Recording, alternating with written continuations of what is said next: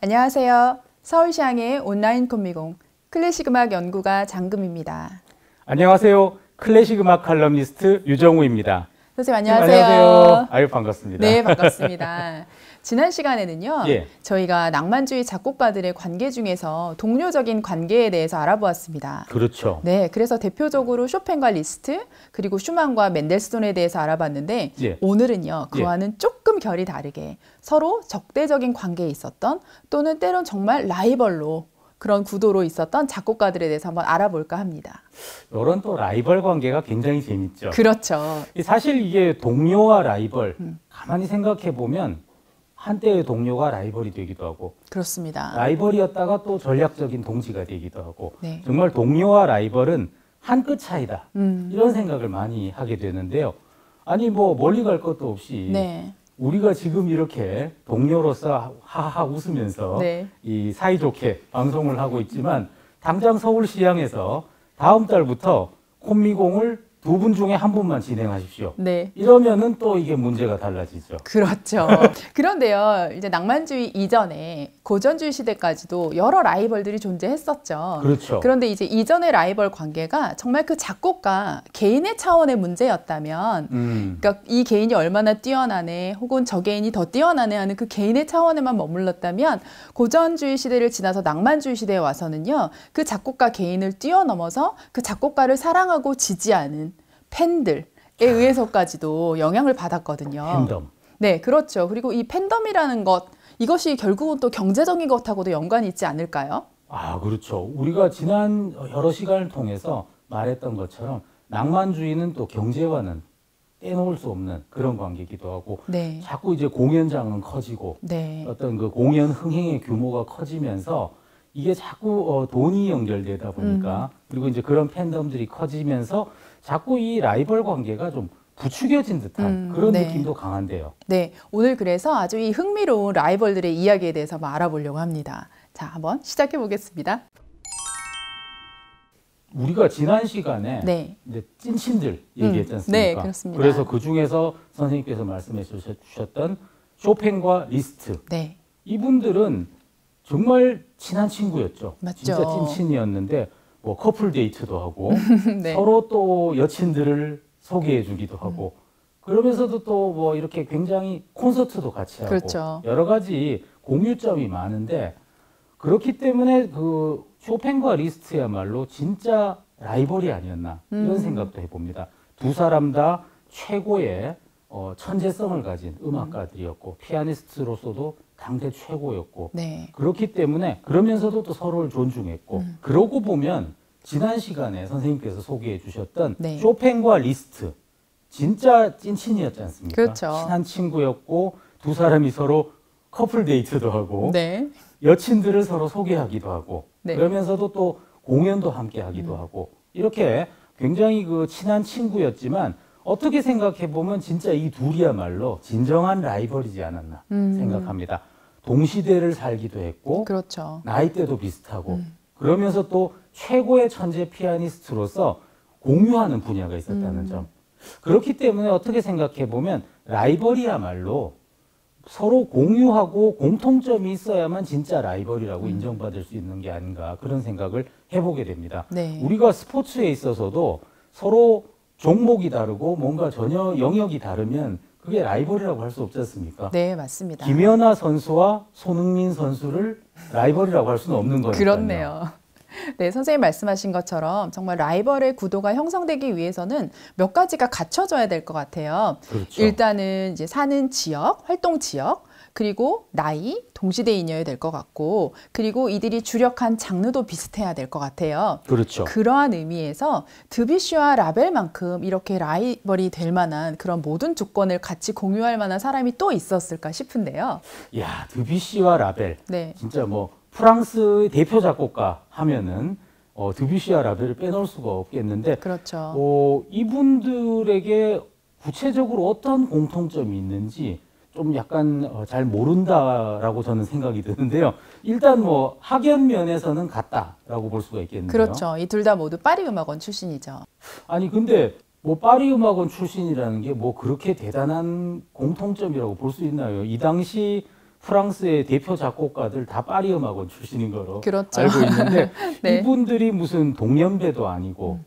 그렇다고 해서 뭐 같은 동년배로서 이렇게 라이벌 구도를 형성한 것도 아닌데 저로서는 점점 미궁으로 빠져드는데 좀 더 자세히 설명해 주시죠. 네, 그러니까 이 둘은요 모두 작곡가로 알려져 있잖아요. 하지만 처음에 피아니스트로 시작했다는 이력이 같고요. 아. 그리고 우리가 두비 씨를 생각하면 앙팡 테리블 그렇죠? 아, 그렇죠, 그렇죠. 그런 이미지가 라벨에게도 있는데요. 그러니까 전통의 권위에 맞서서 자신만의 독특한 음악 어법을 만들었던 것으로 유명합니다. 이러한 공통점도 가지고 있습니다.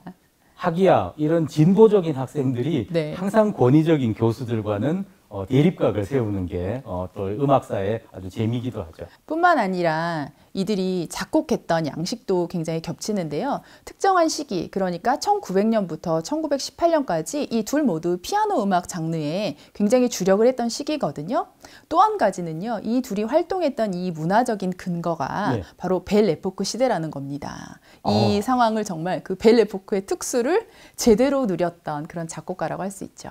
이 Belle Époque 시대가 어떤 시대인지를 조금 설명을 해주실 필요가 있겠는데 네, 여러분 잘 아시겠지만 프랑스라는 나라가 1789년 프랑스 대혁명을 기점으로 해서 그 이후로도 7월 혁명, 2월 혁명 등 수많은 정치적인 동요가 있었어요. 그렇죠. 네, 그런데 이제 이러한 동요들이 다 해결이 되고 그리고 그야말로 세계 1차 대전이 일어난 1914년 이때까지 문화적인 태평성대를 누리던 시대를 말합니다. 그래서 여러분께서 잘 아시다시피 이 시기에 만국 박람회도 파리에서 열렸고요. 아, 예. 네, 그래서 저희가 또 알게 된 것이 이제 에펠탑. 그리고 아, 이 그렇죠. 당시에 뭐 그랑 빨레라던가 뿌띠 빨레 이런 건축물들도 세워졌고 또 오. 파리의 세느강에 수많은 다리들이 있지만 알렉산드르 3세의 이 다리가 참 아름답거든요. 네네. 그래서 이러한 모든 것들이 이 벨 에폭 시대에 만들어졌는데요. 이렇게 정말 정치적으로 평안하다 보니까 프랑스의 문화가 굉장히 발전했던 시기였어요. 그래서 정말 유명한 문인들도 많이 나왔고요. 화가들도 많이 나왔고 음악가들도 많이 나왔고 또 이들 간의 교류도 그 어느 때보다 활발했던 시기입니다. 야, 설명만 들어도 네. 너무 있어 보입니다. 아, 그러면 제가 더 있어 보이는 얘기를 한 가지 드릴게요. 어, 예. 예, 상징주의 시인인 보들레르가 한 말입니다. 제가 인용구를 읽어 드릴게요. 화성은 색채 이론의 근간을 이룬다. 멜로디는 색들의 조합이다. 정말 시인이지만 음악에 대한 깊은 조예가 드러나는 구절인 것 같아요. 너무 고급집니다. 너무 근사한데요. 이런 그 위대한 시인의 작품이라면 그 어떤 작곡가라 한들 거기에 곡을 붙이지 않을 수 있겠을까 네. 이런 생각을 하게 되는데 사실 그 드뷔시의 음악을 떠올려 보면은 네. 뭐 피아노 모음곡 판화 음. 뭐 거기에 뭐 탑 이런 곡들 보면은 네. 막 아, 동양적이고 그렇죠. 아시아적인 그 음계와 조성 음. 이런 것들을 쓰는 굉장히 다양한 음계를 구사했던 작곡가다라는 생각도 드는데요. 네, 그렇죠. 드뷔시 같은 경우는 오음 음계로도 유명하지만 오음 음계도 많이 사용했거든요. 아. 그런데 이 오음 음계라는 이 소스를 어디서 얻었냐? 이게 바로 또 Belle Époque와 관련이 있어요. 오. 네, 파리에서 만국 박람회가 열렸을 때 인도네시아 가멜란 음악에 아. 가멜란 음악을 듣고 그 음악에 큰 영향을 받은 거거든요. 그런데 드뷔시도 그렇고 라벨도 그렇고 둘 다 이 같은 박람회에 참여해서 같은 음악을 들었습니다. 그러다 보니까 이 오음음계라는 이런 음악적인 소재도 이 둘의 음악에 고스란히 녹게 된 것이죠. 야, 그러고 보면 진짜 이 사람이 뭐 특히 예술가는 네. 무엇을 보았느냐, 네. 그리고 또 누구를 만났느냐, 음. 이게 정말 그 작품 세계에 네. 굉장히 큰 영향을 미친다는 생각이 드네요. 네, 그러니까 이 드뷔시와 라벨에게 그 누구를 만나느냐, 이 누구에 해당하는 사람 중에 아주 중요한 사람이 바로 에릭 사티입니다. 전 사티 하면은 정말 할 말이 많죠. 이분도 enfant terrible이죠. 아, 그렇죠. 시대의 반항아인데다가 정말 그 반골 기질로 충만한 이런 음악가였는데요. 드뷔시와 라벨이 둘 다 사티에게 정신적인 영향을 많이 받았고요. 또 폴 베를렌느라든가 아니면 스테판 말라르메 이런 상징주의 시인에게 많은 영향을 받았어요. 오. 많은 사람들이 드뷔시와 라벨을 인상주의 작곡가로 분류하기 때문에 아 이것이 어, 인상주의 미술하고 연관이 있나 보다라고도 생각하시지만 실은 드뷔시는 굉장히 단호하게 나는 별 인상주의의 영향을 받지 않았다. 오히려 음. 나에게 영향을 준 것은 상징주의 시인이라고 이렇게 얘기를 했거든요. 아. 그럼 어떤 부분이 구체적으로 영향을 받았나 잘 생각해 보시면 우리가 드뷔시 음악을 들을 때 굉장히 모호함을 많이 떠올립니다. 아, 그렇죠. 네, 손에 뭔가 잡히지 않는 그 아슬한 뭔가가 있는데요. 이것이 바로 상징주의 시인들이 추구하던 바였어요. 그 모호성. 그러니까 언어가 무언가를 설명할 때 그 직접적으로 의미를 전달하는 것을 굉장히 피했거든요. 음. 네, 그래서 무언가 모호하게 말하고 때로는 그 모호함을 극대화시키기 위해서 본인의 모국어가 아닌 다른 언어를 사용하기도 할 정도로 이들이 추구하던 것이 그 언어의 모호성이었는데 이것을 고스란히 드비시와 라벨이 받게 된 겁니다. 그리고 또한 이 당시 파리에는요 많은 러시아 작가들이 활동을 하고 있었거든요.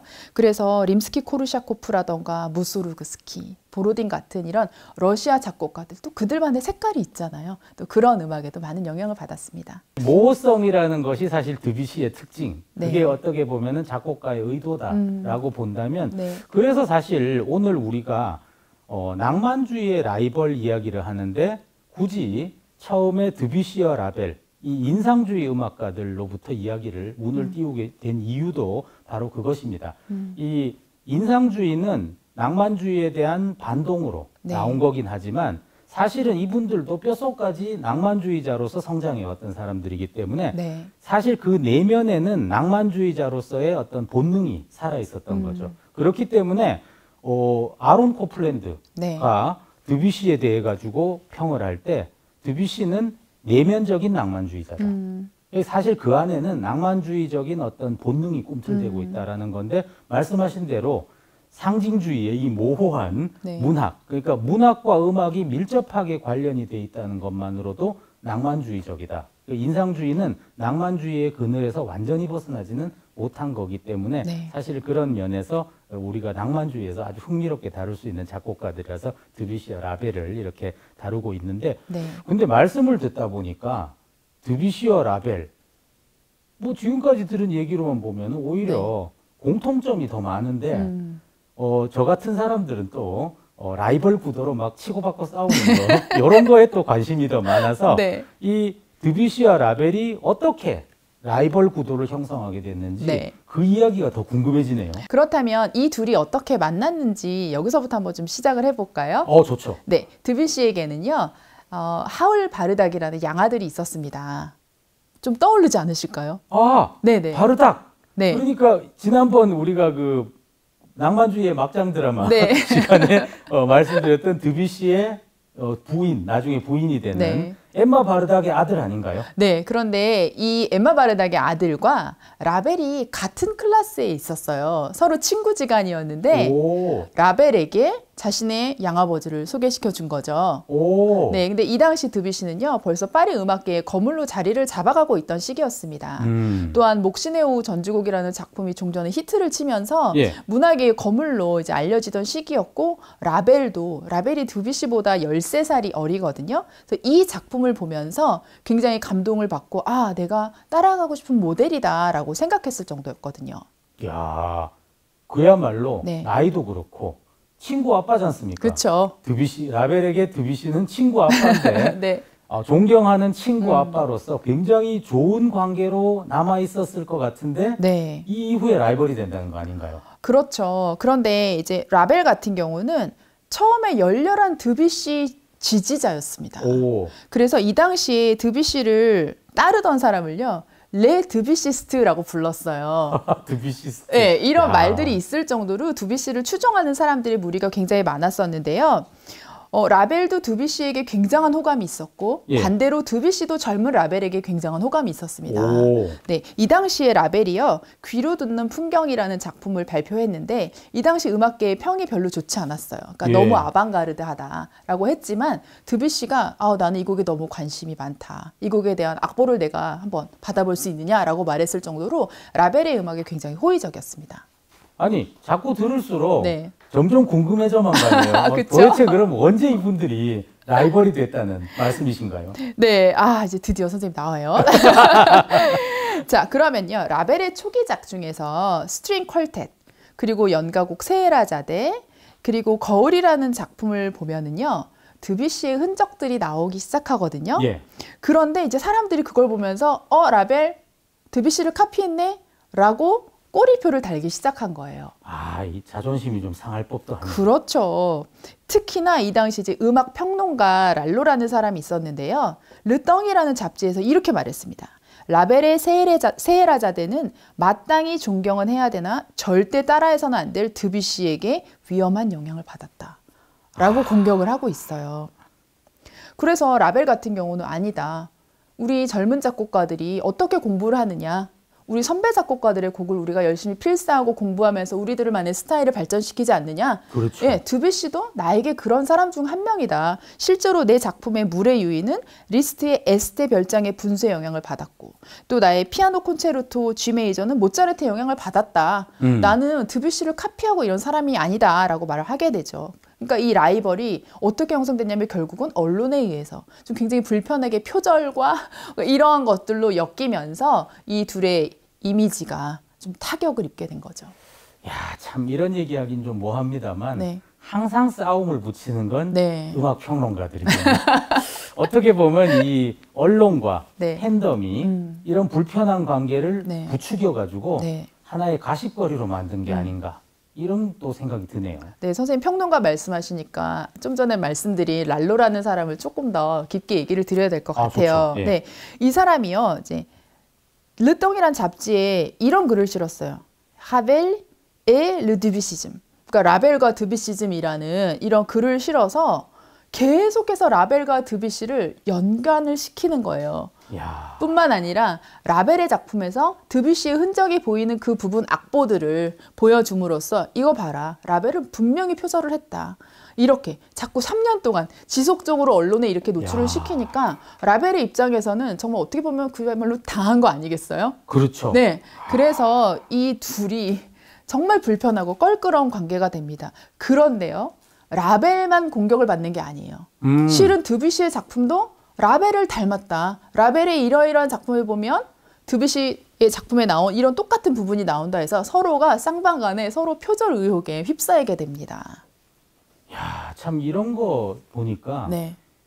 이게 100년 전 얘기지 않습니까? 그렇죠. 100년 전이나 지금이나 참 별반 다르지 않구나. 음. 요즘 그 유튜브에 네. 만연하고 있는 사이버 레카. 음. 똑같은 거 아니겠습니까? 그쵸. 이게 그 사실 동시대 작곡가들 더군다나 이렇게 밀접한 관계를 가진 예술가들이면 서로 어울리고 토론하고 음. 영향을 주고받으면서 유사한 작품들이 나오는 거는 이거는 뭐 자연스러운 현상일 텐데. 그렇죠. 아니 네. 뭐 그렇게 생각해 보면 바로크 시대 음악들, 음. 바로크 시대의 무명 작곡가들 네. 음악 들려주면은 이게 비발디 곡인지 네.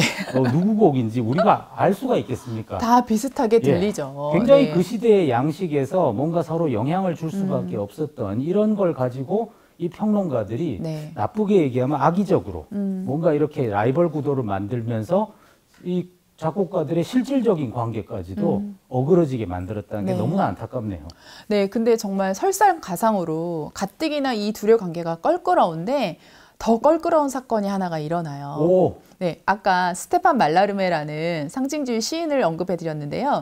어, 이 시인이 새로운 시집을 편찬을 했는데 드뷔시와 라벨 모두가 이 시인을 너무나 존경하고 좋아했던 터라 음. 이 시집을 보자마자 아, 내가 이 시집에서 몇 곡을 골라서 작곡을 해야겠다라고 마음을 먹었어요. 오. 그런데 아뿔싸 이 둘이 고른 시가 겹치는 거예요.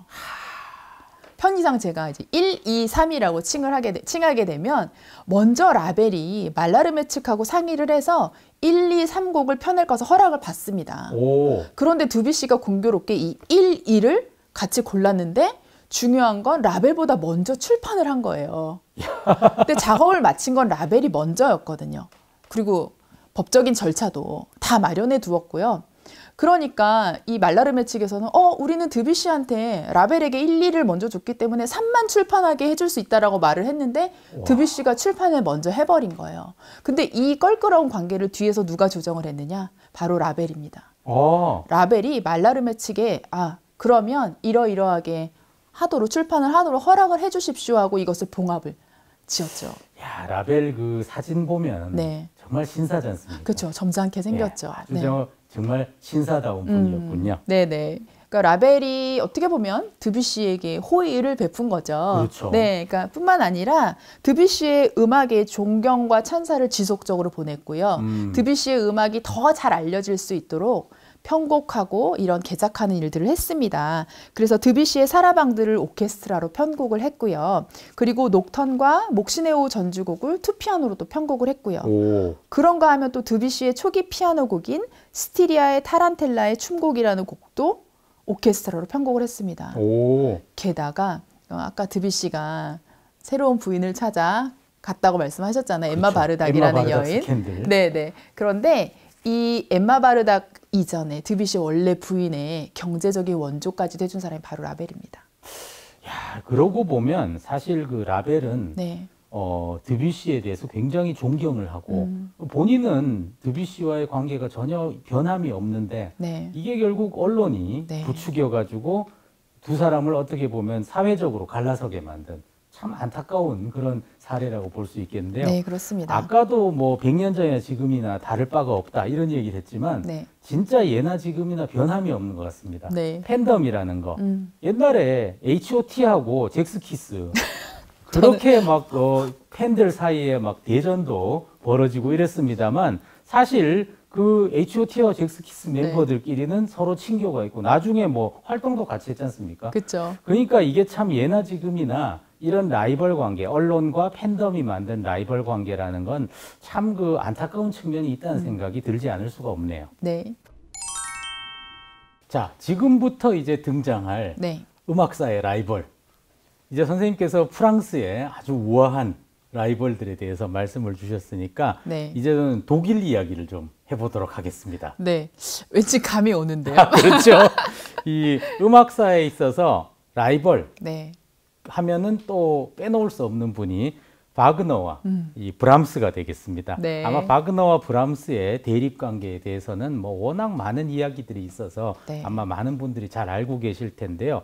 사실 그 음악가들의 라이벌 관계라면 아까 말씀드린 대로 뭐 언론이라든지 팬덤 네. 이것도 중요하지만 주변 사람과의 인간 관계도 음. 굉장히 중요합니다. 네. 그게 라이벌 구도에 굉장히 큰 영향을 의외로 미치는 음. 그런 부분들이 있는데요. 제가 지금 이제 말씀드릴 바그너와 브람스 사이에 있는 그 인물은 네. 바로 칼 타우지히라는 폴란드 출신의 피아니스트입니다. 네. 이분은 리스트가 가장 아꼈던 애제자였습니다. 음. 그러니까 뭐 엄청 천재적인 분이었죠. 근데 이분이 1858년에 그러니까 막 10대 때였죠. 스위스의 취리히로 이주하게 됩니다. 그때 마침 어, 1858년이면은 바그너가 스위스에 살고 있을 때였죠. 음, 네. 한창 막 트리스탄과 이솔데 이런 음. 거 작곡하고 있을 때인데 그때 바로 어, 리스트가 소개장을 써서 이 젊은 아주 그 재능 있는 피아니스트를 소개할 테니까 라면서 찌리히의 바그너에게 소개를 했습니다. 네. 바그너는 이 타우지히의 어떤 연주를 듣고는 너무 감동해가지고 음악가로서도 뭐 엄청난 재능을 가지고 있고 피아니스트로서 그의 연주는 나를 전율케 한다. 음. 이 바그너가 사실 남 칭찬 별로 안 하는 분인데 이렇게까지 칭찬을 한다라는 거는 정말 그 바그너가 이 타우지히의 재능에 얼마나 감동했나라는 음. 걸볼 수 있는데 네. 당연히 타우지히도 바그너가 이끌고 있는 그런 새로운 음악 그런 운동에 합류하게 됩니다. 음. 근데 이 타우지히가 몇 년 있다가 1862년에 이 빈으로 가게 된 거죠. 그러면서 이제 브람스하고도 친교를 나누게 됩니다. 아, 그렇습니까? 그러니까 이분은 바그너와 브람스 사이에 모두 균등하게 음. 친교를 나누었던 그런 분이 되겠습니다. 그래서 또 브람스도 어, 사실 신경 쓰이죠. 바그너의 음. 악이라는 게 전 유럽을 휩쓸고 있으니까 과연 이 음악은 어떤 것인가 라면서 타우지히하고 타우지히만큼 또 바그너를 잘 아는 사람도 잘 없으니까 종종 토론을 했다고 합니다. 음. 근데 이제 이 브람스와 바그너가 만나게 되는 음. 그런 사건이 일어나는데요. 네. 당연히 이게 타우지히가 중간에 주선한 겁니다. 음. 바그너는 1864년 무렵에 그 이전부터 1863년 말부터 9개월 동안 빈 근교의 펜징이라는 곳에 머물면서 이 마이스터징어, 뉘른베르크의 마이스터징어를 계속 가열차게 집필하고 있었는데 1864년 2월 7일 브람스가 타우지히의 소개로 바그너를 방문하게 된 거죠. 음, 네. 그래가지고 이제 브람스는 설레는 마음을 안고 바그너 앞에서 바그너에게 자기가 작곡한 핸델 주제에 의한 변주곡과 후가 뭐 음. 뭐 이런 곡들을 막 이렇게 연주하면서 바그너에게 시연을 하게 됩니다. 그러니까 바그너는 야 너무 훌륭한 연주이고 훌륭한 음악이다라면서 칭찬을 했지만 네. 사실 뒤돌아서 가지고는 별로 마음에 안 드는데 음. 이렇게 생각했다고 하네요. 그래서 그 어, 타우지히라는 사람이 브람스와 바그너의 만남을 주선할 정도로 네. 어떻게 보면 바그너와 브람스 사이에 거의 몇 안 되는 연결고리, 음. 유일한 연결고리가 칼 타우지히였다라고 볼 수가 있겠습니다. 그런데 선생님 이제 지금 쭉 말씀하시는 뉘앙스를 들어보니까 그렇죠. 왠지 이 연결고리 이 타우지가 이 둘 사이의 관계를 굉장히 좀 힘들게 만들었을 것 같은데요. 뭐 어떻게 보면 사고 아닌 사고를 쳤다고 볼 수 있겠는데요. 아, 이제 바그너가 1860년경에 탄호이저 서곡의 개정 작업을 하게 됩니다. 음. 파리에서 연주회를 하게 된 거죠. 젊은 시절 파리에서 그렇게 성공하고 싶었는데 못했지 않습니까? 네. 서력을 하겠다. 음. 그러면서 어, 파리에서 타노이저 서곡을 아주 장대하게 확장하게 되죠. 이게 어, 파리판입니다. 음. 그래서 어, 이 연주를 하고 나서 그 뒤에 바그너가 타우지히를 총애하니까 이 바그너가 타우지히에게 선물 줄게 이러면서 음. 자기가 쓴 이 파리판에 타노이저 서곡의 이 베누스베르크의 음. 아주 그 활락의 음악 있지 않습니까? 그 부분의 악보를 타우지히에게 선물한 겁니다. 음, 엄청난 영광이네요. 그렇죠. 그 엄청난 영광인데 그 타우지히는 또 이 참 타우지히가 어떻게 보면은 네. 어 조금 더 신중했어야 되는데 음. 바그너 성격을 알면은 이런 일을 했어서는 안 되는데 브람스 절친한 친구인 브람스가 악보 수집이 취미라는 것, 음. 특히 그 어, 자필 악보, 네. 작곡가의 자필 악보 아주 희귀한 거지 않습니까? 음. 이거를 수집하는 취미가 있다는 걸 알고는 어 브람스 너 나 바그너 선생님한테 이 아주 희귀한 악보 받았는데 선물로 줄게 해가지고 이걸 브람스가 가지게 됐습니다. 아 별로 악의는 없어 보이는데요. 아 그렇죠. 별로 악의는 없었는데 네. 어쨌든 그냥 친한 친구니까 자기가 제일 존경하는 바그너의 악보를 제일 절친인 브람스에게 선물한 거죠. 음.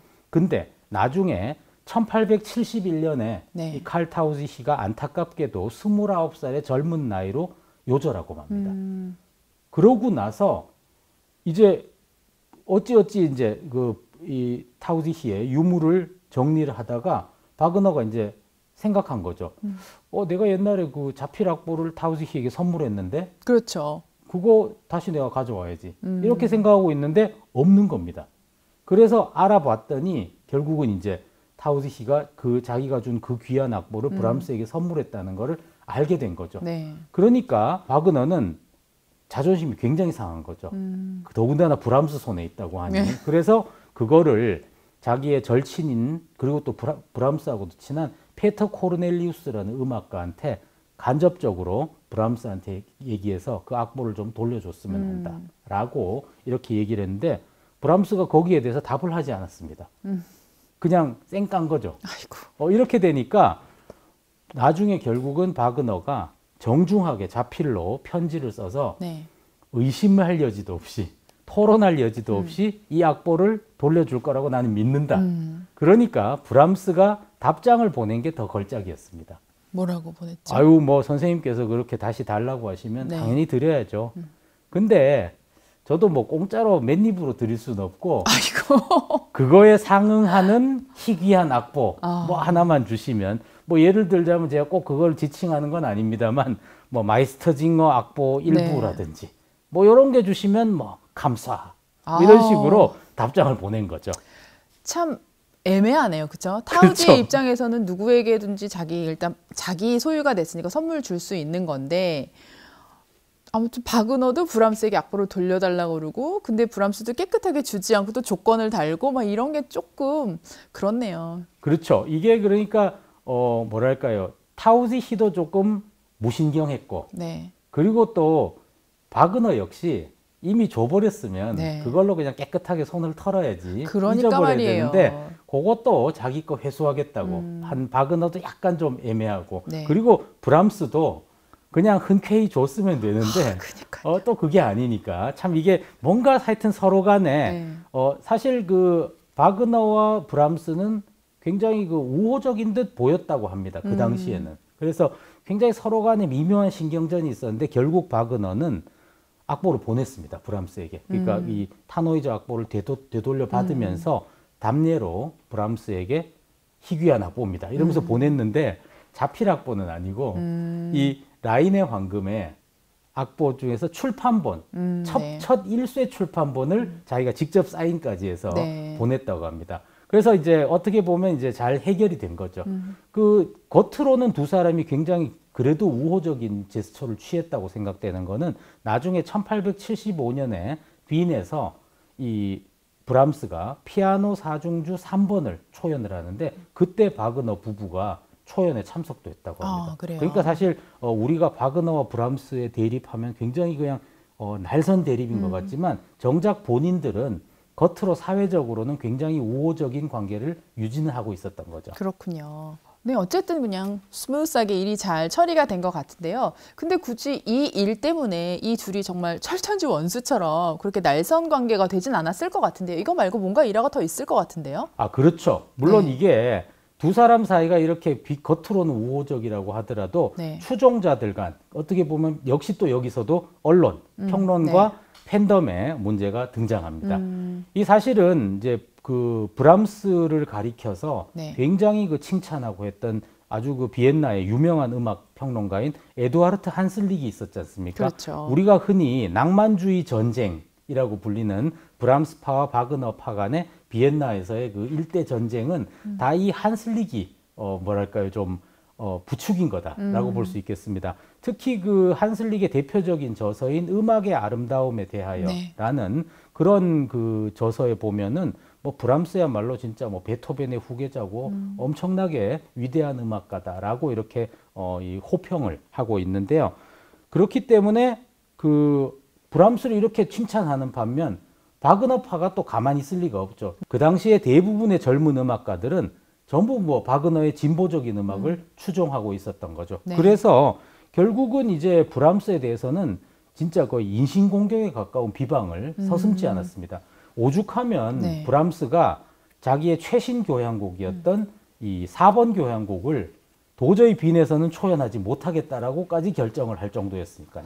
아, 그 당시에 정말 성공을 하고자 했으면 빈이라는 곳은 절대 포기할 수 없는 곳인데요. 아, 브람스가 아, 그렇죠. 한발 물러선 걸까요? 이게 얼마나 시달렸으면 그랬겠습니까? 네, 네. 사실 이제 브람스가 4번 교향곡을 작곡해서 1885년에 발표를 할 계획을 가지는데 아예 욕먹을 빈에서는 음. 그 생각도 하지 않고 그냥 아, 빈을 떠나서 딴 데서 공연하겠다라고 결정을 합니다. 그래서 결국은 자기의 절친인 네. 지휘자 한스 폰 뷜로 당대 최고의 지휘자이자 리스트의 제자이기도 음. 하고 또 바그너의 제자이기도 해서 바그너의 트리스탄과 이졸데 음. 그리고 뉘른베르크의 마이스터징어 같은 곡을 초연했던 네. 바그너의 아주 그 친위대장이었죠. 음. 그렇지만 아시다시피 네. 바그너한테 아내인 코지마를 뺏기고 나서부터는 완전히 브람스 편으로 음. 돌아서게 됐죠. 그래서 그 당시에 한스 폰 뷜로가 상임 지휘자로 있던 아주 최고의 오케스트라죠. 독일의 마이닝겐 궁정 오케스트라에서 초연을 결정하게 됩니다. 그래서 네. 이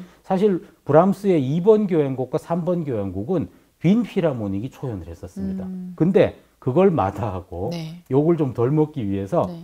1885년 10월 25일에 마이닝엔에서 마이닝엔 궁정 오케스트라를 브람스가 직접 지휘해서 음. 4번 교향곡이 초연되게 되었죠. 아, 네.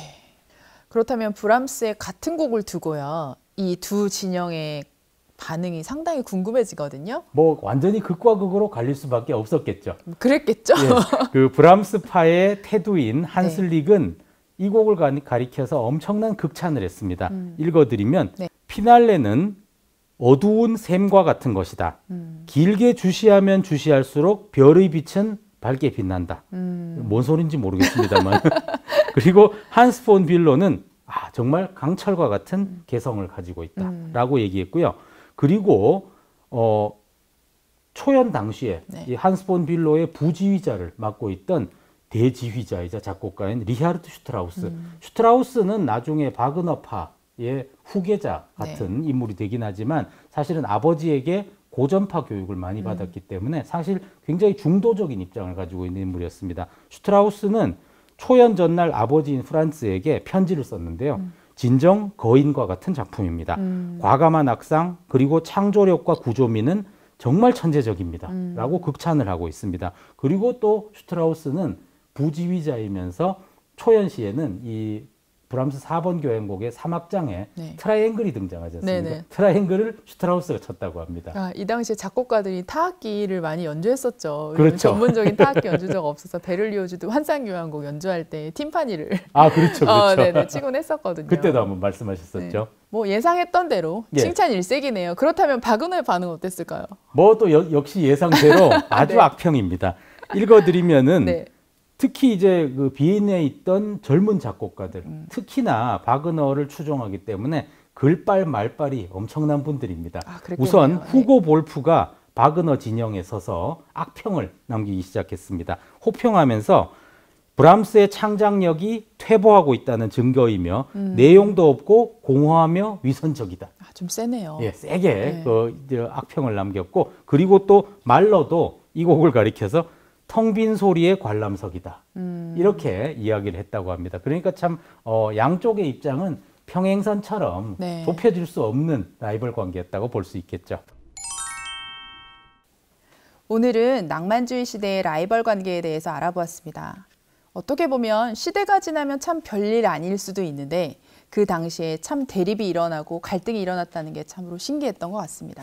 그렇죠. 정말 그 어떻게 보면 아까 말씀드렸던 브람스와 바그너 네. 파의 어떤 그 논쟁 이거는 지금까지도 현재 진행형인 것 같습니다. 음, 어떻게 보면 네. 어, 아직까지도 음악 애호가들은 바그너파, 브람스파로 음. 갈라져서 어, 막 이렇게 얘기를 하는데 사실 이게 서로 다름 차이인데 네. 그렇죠. 이거를 하나의 그 우열과 같이 음. 받아들이는 그런 팬덤들이 아직도 여전한 것 같기는 하네요. 네. 사실 사람들이 원래 좀 편을 가르고 논쟁하는 것 자체를 즐기는 것 같긴 해요.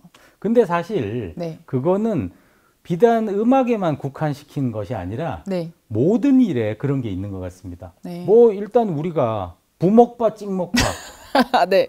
그리고 민초파, 반민초파. 아, 요건 좀 설명이 필요할 것 같아요. 선생님. 모르시는 분들도 계실 것 같은데요. 예, 민트 초콜릿. 민트 초콜릿을 아무렇지 않게 네. 잘 드실 수 있는 분. 나 민트 초콜릿, 아유, 보기도 싫어. 어. 이렇게 서로 민초파와 반민초파도 있고 네. 정말 항상 다양한 분야에서 음. 서로 라이벌 구도가 형성된다는 거는 어떻게 보면 좀 재미를 위한 거 아닌가 음. 싶기도 한 생각이 드는데요. 네. 이게 그렇기 때문에 어떻게 보면 스포츠 같은 게더 음. 흥할 수 있는 원동력이 되기도 하겠죠. 네. 사실 가만히 보면 우리가 어떤 선수의 팬덤이 형성되고 그 반대 선수의 라이벌 구도가 이루어지더라도 사실 이 사람들은 지금은 다른 팀에서 라이벌로 뛰고 있지만 네. 옛날에는 한 팀에서 그냥 같이 뛰었던 동료일 수도 있고 네. 개인적으로는 너무나도 친한 그런 사람들도 있을 수 있겠고요.